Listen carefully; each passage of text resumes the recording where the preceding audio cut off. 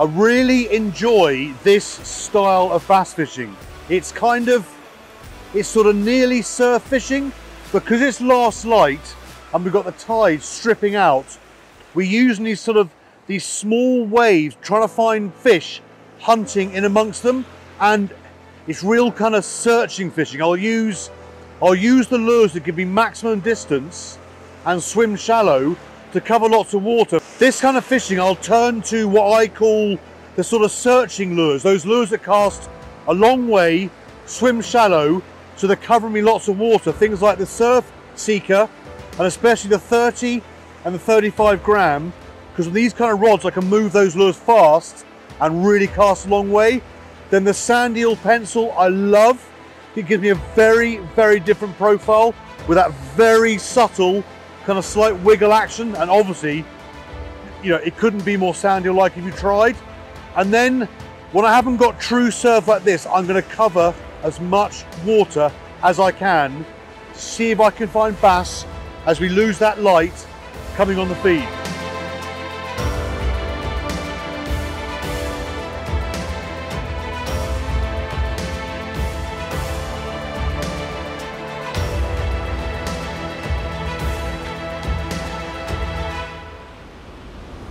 Yeah.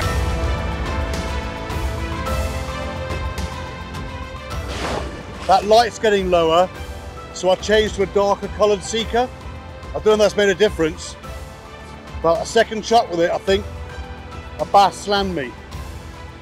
Oh, it's not a big fish, but in the surf, every bass in any kind of surf is worth double.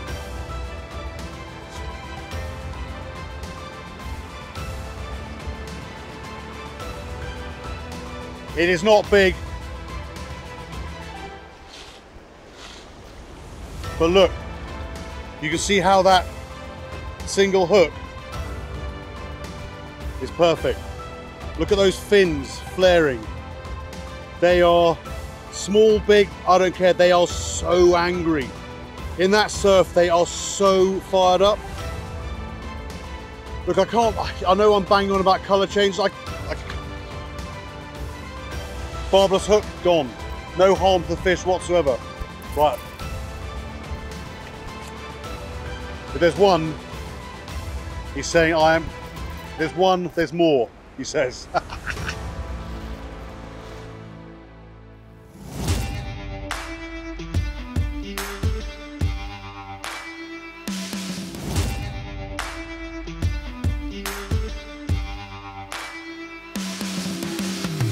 yeah.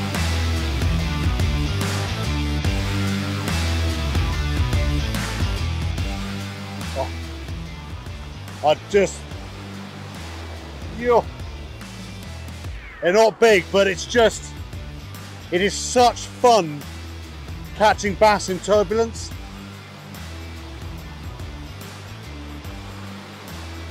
I think it might be the same fish. It is small, but at least when I said there one, there'd be more. And see, look, the great thing is this, I haven't even got to touch the bass to unhook it. Barbless hook, barbless single. Thank you very much, fish. Look, they're not big, but I promise you, any bass you catch in turbulence is worth two or three with how hard they, for their comparative size, how hard they hit, how hard they scrap. It's just, yo.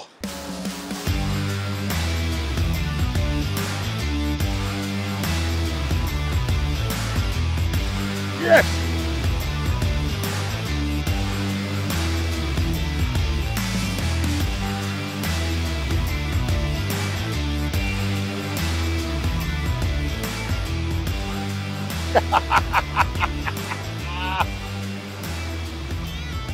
when you need to search water, I honestly, the Seeker is insane. It's not a big fish at all but they just slam it in the surf. I just came off. It's about that big. Well, it wasn't. It was about, it wasn't a big fish, but that's a good sign. Absolutely When you've got any kind of wave on, when they want it, they absolutely slam it. It's brilliant.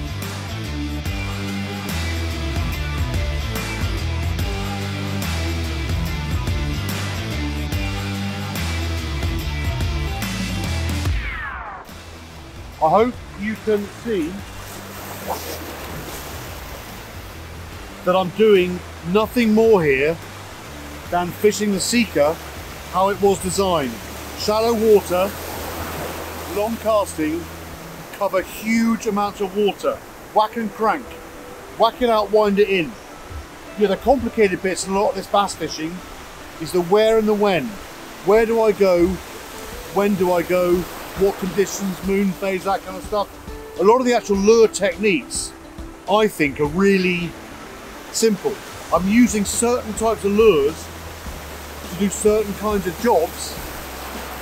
You're trusting in their actions, their casting, the depth they swim. And this Seeker and the sand eel pencil, they cover a huge amount of water. And for a metal lure, you might look and think, oh, it sinks deep. It doesn't. You crank that thing, it's swimming kind of that deep under the water. Absolutely, it's such a deceptively simple lure. I never, ever, ever go bass fishing anywhere without at least a seeker in my box. If I need to cover water, this is the lure every time.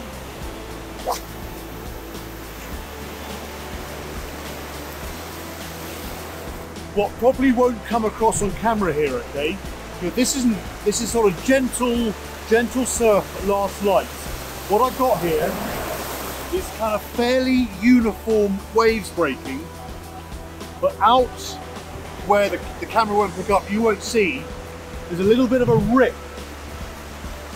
And both fish I've caught were on, on the edge of that rip. Although you might have seen me earlier on kind of like looking and wandering, just look, casting a specific area.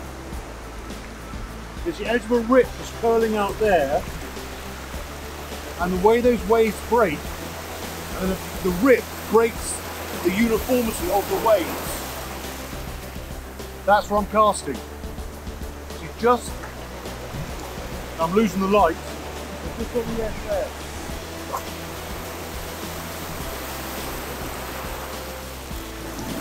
A lot of the surf fishing I tend to do, especially at home and out here in Ireland, a lot of it seems to be, tends to fish the best. You know, pick your standard kind of surf beach, even though these aren't big surf conditions. And if I was to target a surf beach for the first time, if there's kind of onshore wind, giving you that short, choppy sea and nice waves, I would get down there two hours before low water. I'd fish it two hours down in the first two hours of the flood. And if I get fish, great, I'm sussing it out. Then I would start working from there, okay? I really like, I can think of you know, X amount of beaches I might fish. And I, yeah, I reckon, from a couple, you know when you get those beaches that sometimes dump quite hard and it gives you that kind of scour out there, then I like a really big tide I like those waves dumping on that scour because I think you find the bass in the gutter. But generally, you know, I'm thinking about the beaches I fish at home, generally fishing around that low water period. And sometimes, you know, let's say you are fishing for that four hour stretch, and let's say it's fishing well, you know, let's have the perfect, the perfect situation. You might find you get a quiet period just before low and just after. Stick at it. I get it home all the time, goes quiet, you think, oh, where are the fish gone? Wait, wait, wait. The tide starts creeping in, flooding in, bang, you get them again. It's just, it's that kind of mobile searching, wandering around, having a look, and search water. Use it. The lures are simple, techniques are simple. Search water.